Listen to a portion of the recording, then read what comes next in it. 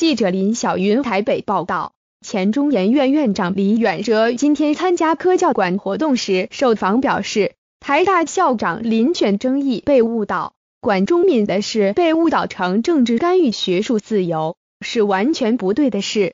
管中敏也曾是中研院研究员，但特定媒体在校长遴选开始时，却故意分成中研院派和台大派，以打击与中研院合作的候选人。管被拉上来。前面几个候选人被拉下去，背后有很不好的事。管中敏的争议，教育部要讲清楚，和学术自由没有关系。李远哲表示，台大最近数十年的运作，他看了很失望。他当中研院院长时，提升中研院做了很多努力，但台大进步很少，没有进步，这是有原因的。李远哲说，管中敏的事。大家如果看成是政治干预学术自由，这是完全不对的。在台大校长遴选刚开始时，特定媒体把几个候选人归为中研院派，做不利的连结，打击这些候选人。但管中敏也曾是中研院研究员，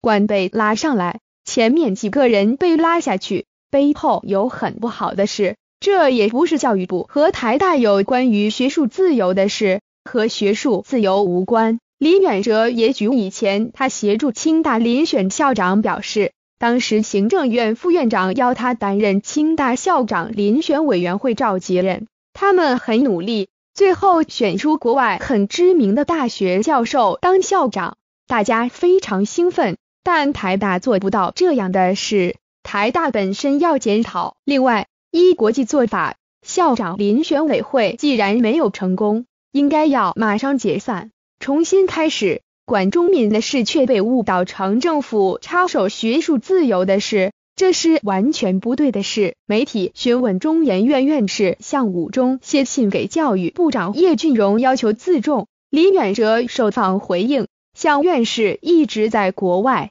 没有几天在国内，也没有在国内教育或研究上做出贡献，一直在外面放话，是不适当的。国立台湾科学教育馆自位于台中的国立自然科学博物馆引进岛屿浮沉下午二点五世界特展到台北展出，今天举办展览开幕茶会，李远哲受邀出席致辞。